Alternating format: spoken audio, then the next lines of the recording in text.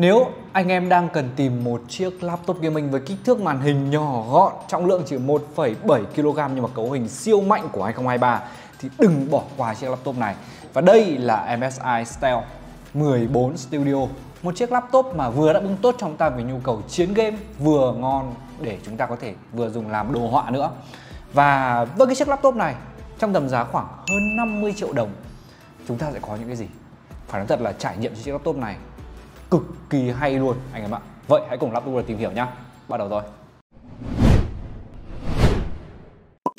Phải nói thật là những dòng sản phẩm mới của nhà MSI năm nay gần như là thoát xác ra khỏi những cái vỏ bọc cũ, những cái vỏ bọc thiết kế cũ vậy. Những cái phiên bản mới năm 2023 năm nay chúng ta có một cái thiết kế mới mẻ hơn, xuất sắc hơn rất là nhiều. À, điển hình như là chiếc Studio 14 này, chiếc Style 14 Studio này thì chúng ta sẽ có gì nhỉ? Chiếc laptop gaming đầu tiên của nhà MSI chăng? Trong tầm kích thước là 14 inch. Chúng ta sẽ có một cái thiết kế trông nó rất là đẹp cũng như là một cái build quality cực kỳ là tốt luôn anh em ạ. Cái cái độ hoàn thiện ở trong cái tầm giá này nghĩ là chúng ta không cần phải bàn tới nữa. Logo khiên rồng thì đặt chính giữa đây là một cái logo được in lên chứ không phải là khắc nổi hay là chìm. Và chúng ta sẽ có một cái phần bản lề. Chắc chắn bản lề này thì miễn bàn rồi đúng không anh em? Ờ, từ trước cái này thì anh em thường là sẽ có một cái uh, định kiến về bản lề của nhà MSI nhưng mà với phiên bản năm nay thì chúng ta hoàn toàn có thể tin cậy sử dụng cái chiếc laptop này thoải mái rồi, không bao giờ phải nghĩ đến việc bản lề nữa đâu anh em nhé bản lề một trục chạy dọc như thế này và rất là chắc chắn này. Mở ra một góc rất là rộng nữa 180 độ luôn. Tiếp theo chúng ta có thể thấy là cái phần gáy của máy Một chiếc laptop nhỏ 14 inch thôi Nhưng mà họ làm cho chúng ta một cái phần gáy nó nhô ra bên ngoài như thế này à, Cho chúng ta một cái khe thoát gió tản nhiệt ở phía đằng sau này. Cũng như là phía này sẽ có đèn led ở đây luôn anh em nhé Do là máy nó đang hết pin pin yếu cho nên là mình sẽ không thể bật được led lên nhưng mà anh em có thể quan sát qua những video mình quay cận sẽ thấy. Ở đằng sau sẽ có những cái giải led ở phía sau này trông rất là đẹp rất là xịn anh em ạ. Và tổng thể chiếc máy này thiết kế cũng khá mỏng nữa cho một chiếc laptop 14 inch và độ mỏng như thế này cộng với đó là cấu hình cực kỳ khỏe thì mình thấy đây là một cái thiết kế rất là ấn tượng. Ngoài ra thì ở phía bên trên đỉnh của cái phần màn hình sẽ có cho chúng ta cái logo MSI ở đây. Và cái logo này thì nó sẽ khớp lại khi mà chúng ta đóng máy. Đó nó sẽ khớp lại khi mình ta đóng máy ghép với cả cái phần thân dưới ok? Đó là một chút xung quanh về cái phần thiết kế của chiếc laptop này này. Chúng ta thể nhìn sang hai cạnh khe thoát gió có ở hai bên. Đó, đều có ở hai bên và cổng kết nối cũng rất đủ, anh em nhé nhìn qua về phần mặt đáy của máy thì ở dưới này sẽ có hai quạt tản nhiệt kích thước khá lớn cho một chiếc laptop 14 inch. Đây sẽ là hai phần quạt tản nhiệt ở hai bên. Những cái gờ cao su nhô khá là cao này, để giúp cái luồng khí mát đi vào được tốt hơn. Nhưng mà mình vẫn khuyến khích anh em là kê thêm cái gầm máy này cao hơn nữa, anh em nhé và cái phần đây cũng có led hai bên cạnh, ngoài của máy cũng có led. Ok đó là thiết kế bên ngoài. Và phía bên trong thì ở trong này sẽ có khá là nhiều thứ khiến cho mình cảm thấy thích thú trên những cái chiếc Stealth 14 Studio này. Phần viền màn hình được làm mỏng để tối ưu cho cái kích thước của máy rồi. Cái điều này không cần bàn nữa. Nhưng mà bên trên chúng ta vẫn sẽ có đủ webcam, sẽ có micro thoại, sẽ có cả camera IR để có thể bảo mật khuôn mặt trong cuộc video Hello. Những trang bị rất đủ đúng không nào? Không những thế họ còn có trong ta cả một chiếc lẫy treo webcam vật lý ở phía bên trên này nữa. Rất đầy đủ về trang bị anh em nhé cả về bảo mật cũng sẽ có đủ trong ta cái phần màn hình sẽ là cái thứ khiến cho mình cảm thấy thích nhất. Máy đã đẹp rồi bên ngoài đã đẹp rồi. Nhìn màn hình siêu lòng luôn.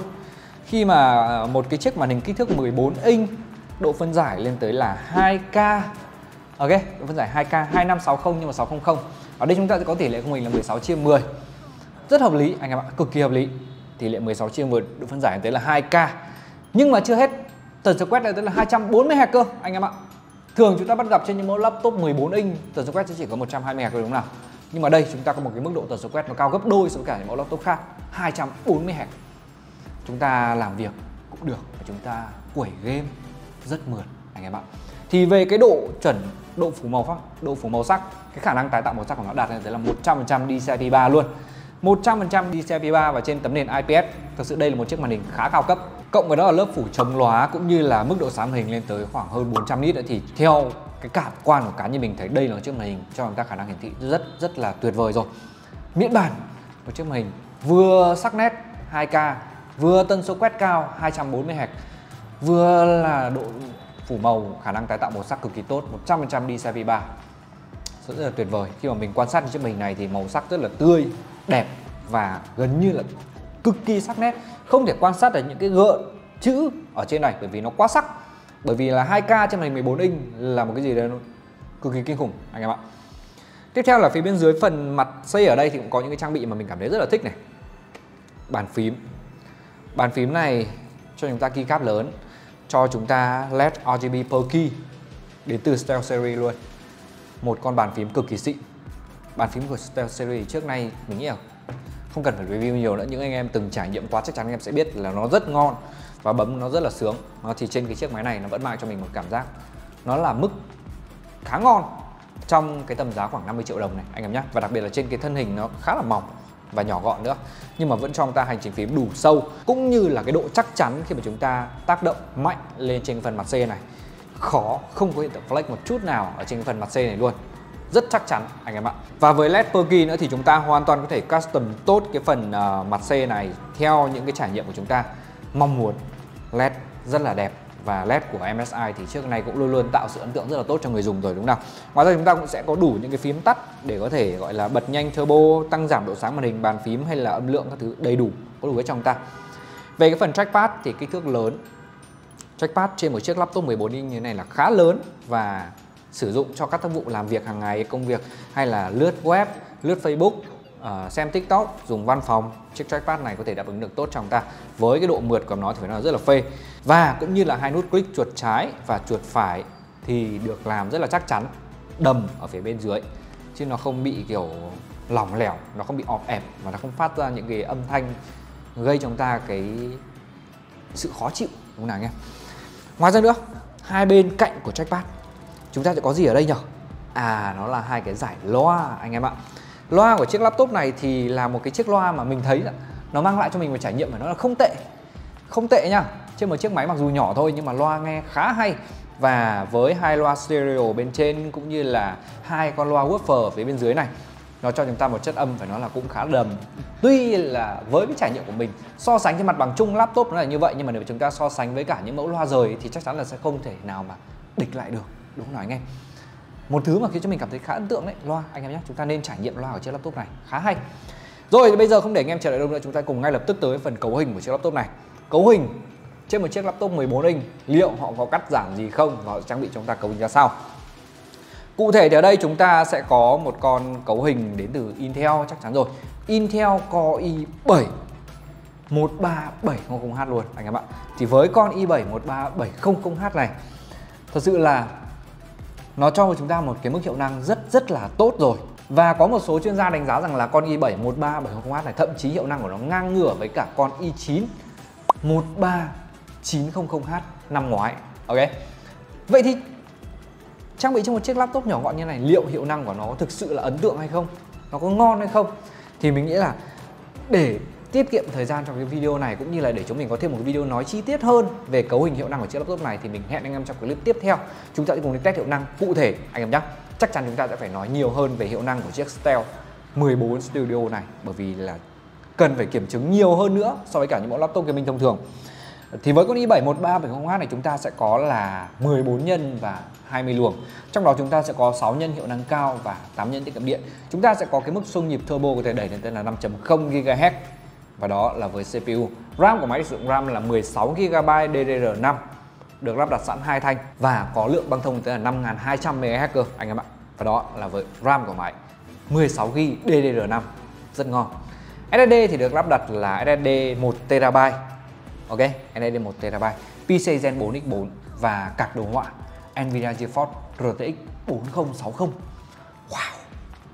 4060 rất hấp dẫn đúng không anh em phải nói thật là trong tầm giá này mà chúng ta đã có 4060 thì phải nói là quá hấp dẫn rồi, đúng không nào?